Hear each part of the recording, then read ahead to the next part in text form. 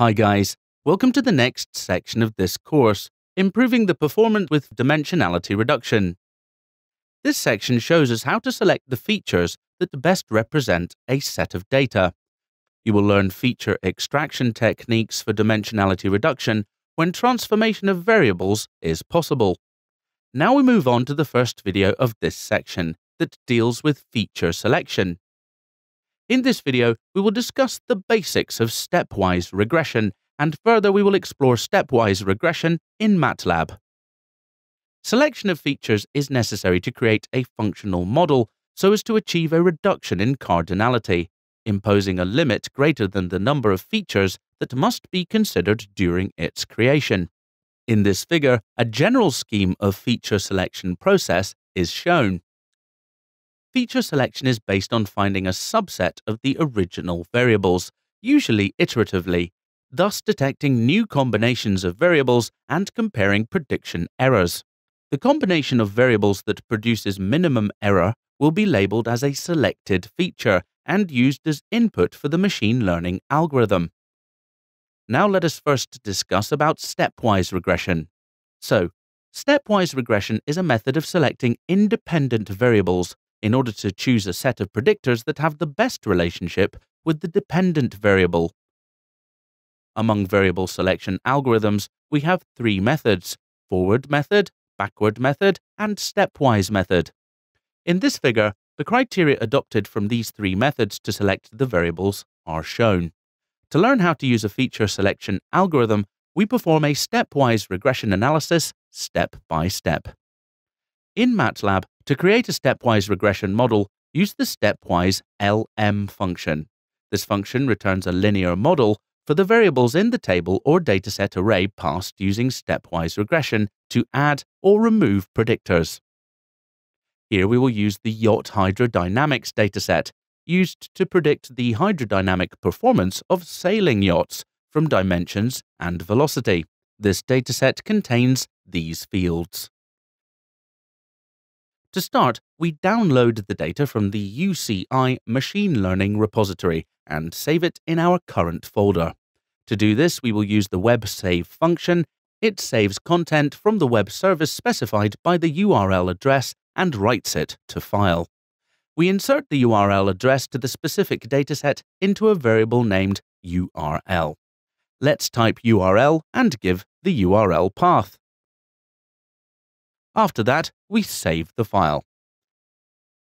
Next, we set the names of the variables in accordance with the previous example.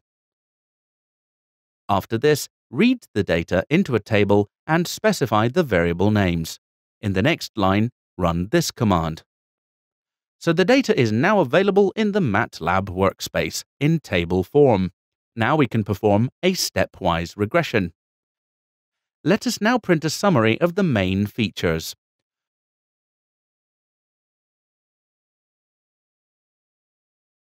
From a preliminary analysis of the statistics, you will notice a fair number of missing values. This is not a problem, as the stepwise LM function ignores them.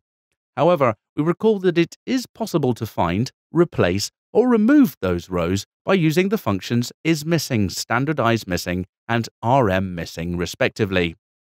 Now to avoid problems in subsequent calculations, we should remove the rows with missing values.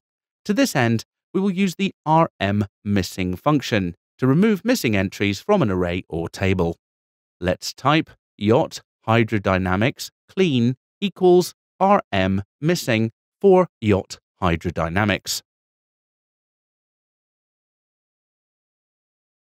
To confirm the removal, we display the size of the two tables that appear in MATLAB's workspace. Here's the first one,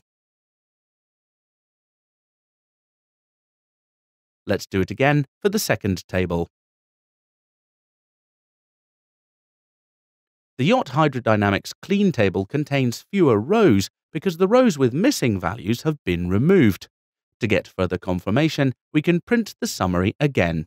Use the summary function.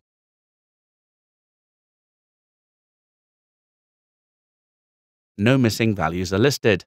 To better understand how the MATLAB function works, it is advisable to have the response values in vector form and the predictive terms in matrix form. we have them in the form of a table. They can be transformed into arrays using the table to array function. Let's use the same line of code for y.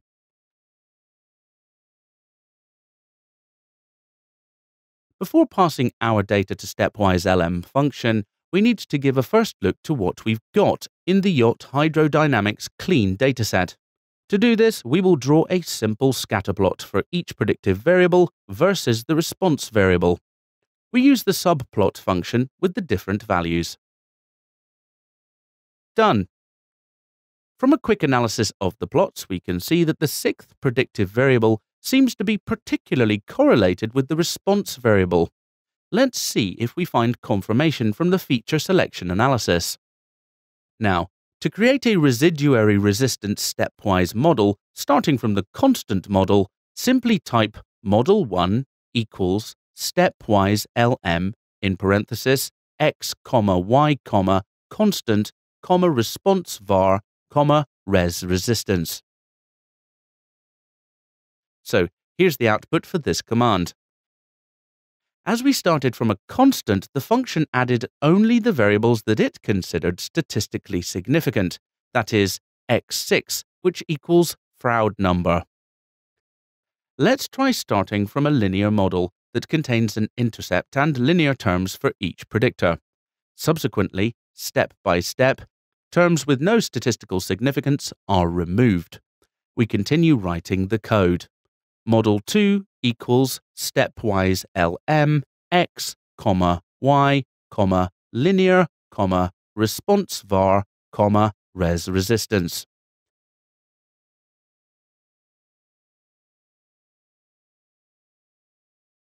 Now let's see what happens if we start from the full interaction model. This model starts with an intercept, linear terms for each predictor, and all products of pairs of distinct predictors, that is, no squared terms. Subsequently, terms with no statistical significance are removed. Here's how we do this. Model 3 equals. We use the stepwise LM function and pass the same arguments, just replacing linear with interactions. And the rest of the parameters are the same.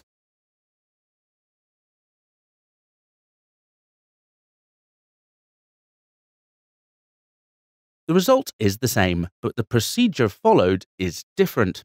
In this case, we started from a model which contains all variables and their interactions. Subsequently, the function gradually removed the less important variables, that is, high p-value, and their interactions. Let's finally see what happens by creating a full quadratic model as the upper bound, starting from the full quadratic model. At the beginning, this model contains an intercept, linear terms, interactions, and squared terms for each predictor. Subsequently, terms with no statistical significance are removed. Let's go ahead and write the code for Model 4 using the stepwise LM function with the same parameters, just replacing the second parameter with quadratic. This time, the return model is more complex. The variable x6 is present as the square, and it also includes the interaction between this variable and x2. Although more complex, it certainly is more representative of the phenomenon given the results obtained. So you can observe the r squared, adjusted r squared, and the p-value. We have seen that starting from different models, the stepwise LM function returns different results. Let's then compare these results the first thing we can do is compare the adjusted r squared values. Here's the line of code to do this. r squared equals model 1 dot r squared dot adjusted, comma, model 2 dot r squared dot adjusted, comma, model 3 dot r squared dot adjusted, comma, model 4 dot r squared dot adjusted.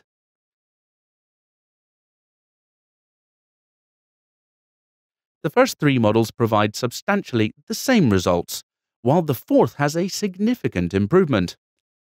To extract more useful information to compare different models, we can draw residual plots of the four models. For this purpose, we will use the plot residuals function.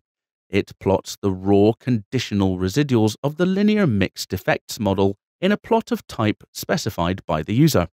In this case, we will plot residuals versus fitted values.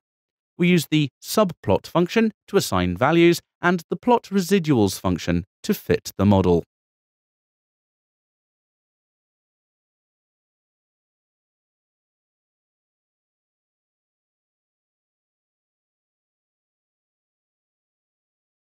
After running this code, you will get this plot of residuals versus fitted values for the four models built earlier. The first three models are practically identical. We can get the same result by analysing the formulas of the models with their intercept.